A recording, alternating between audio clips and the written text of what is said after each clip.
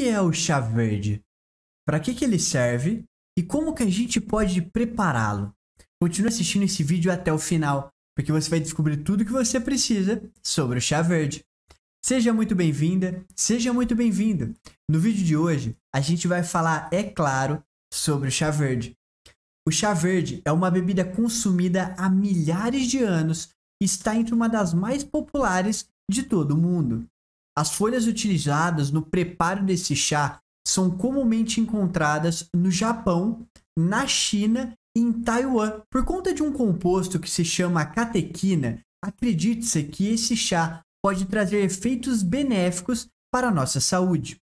Ela pode, por exemplo, agir contra problemas como obesidade, diabetes e pressão alta. Por esse e outros motivos, o chá verde tem ganhado popularidade e milhões de pessoas tomam essa bebida diariamente. Então, que tal entender melhor sobre os efeitos dele no nosso corpo? Acompanhe esse vídeo até o final, porque eu vou te contar tudo sobre essa bebida milenar. Afinal, o que, que é o chá verde? O chá verde é um tipo de chá preparado a partir das folhas da planta Camellia sinensis. Existem muitos tipos de chá verde. Eles são classificados de acordo com o gosto e suas propriedades antioxidantes. O tipo mais consumido é o sencha, que serve de base para outras variações, como o bancha, o matcha e o jokuro. E para que, que ele serve? Para que serve o chá verde? O chá verde é utilizado por conta das suas propriedades medicinais há muitos anos. Além disso, ele parece ajudar no combate a condições como obesidade, diabetes, câncer, doenças cardiovasculares e neurodegenerativas, como o Alzheimer, por conta das suas propriedades antioxidantes. Além disso, outros benefícios possíveis são, em primeiro lugar, em relação aos efeitos cognitivos.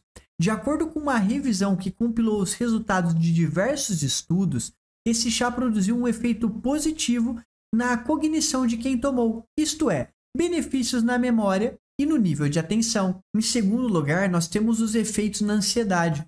Um estudo com participantes saudáveis concluiu que o chá teve efeito calmante e aliviou o estresse de ansiedade dos participantes desse estudo. Em terceiro, temos os efeitos no cérebro. Um outro estudo observou que ele também ajuda a aumentar as conexões de algumas regiões do cérebro, acarretando em uma melhora da memória. Muito legais essas informações, não é mesmo? Então, se você chegou até esse momento e já aprendeu algo novo que você não sabia, é hora do joinha da gratidão. Clique aqui embaixo no joinha e já deixa o seu like, porque fazendo isso você vai nos ajudar bastante. Então é simples. Aprendeu algo novo? Clique aqui, deixa o seu like e muito obrigado por isso. Bom, agora vamos lá. Como que a gente pode fazer o chá verde? Fazer o chá verde é muito simples e eu vou explicar para você nesse exato momento. Primeiramente, utilize uma chaleira ou uma panela mesmo e aqueça a água que você vai usar no chá. Assim que ela começar a borbulhar, desligue o fogo. Em seguida, use uma ou duas colheres de sopa da erva do chá para cada litro de água, tudo bem? Agora é só você tampar a panela ou a sua chaleira e deixar a mistura descansando por 5 minutos. Pronto, simples desse jeito. Agora eu vou concluir para a gente finalizar esse vídeo.